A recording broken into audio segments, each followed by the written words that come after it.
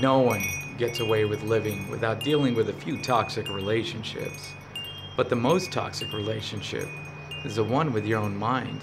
And sometimes you have to break up with the beliefs in your head in order to grow. We've all heard that saying that time is money. Well, that's the wrong way to look at it. Because time is time and money is money. If you lose money, you can get it back. You can never get lost time back. That's why you're either paid hourly or salary. It's a company saying, this is how much your time is worth. And we've all heard how rich Jeff Bezos is, but they don't explain it in just money. The way they explain it, they say, this is how much you would have to spend in a day in order to spend what Jeff Bezos makes in an hour. Because they know that time is a value. So know your value in time, not money. The further your mind gets away from a moment, it warps it, it changes it.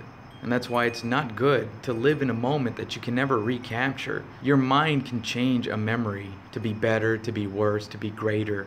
So don't live in it. Don't waste your time trying to get moments that you can't get back. Just make better moments now. One of the most toxic relationships of the mind is that of inherited beliefs.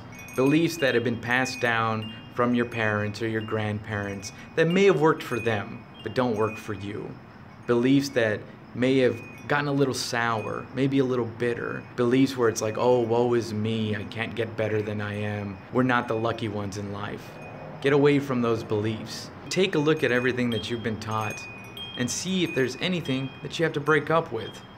Because the sooner you break up with those thoughts that are holding you back or that are leaving you bitter and depressed, the better your mind will be. Don't live with the toxic relationships of your mind. This is Nick Guerra, and this has been Chime Time.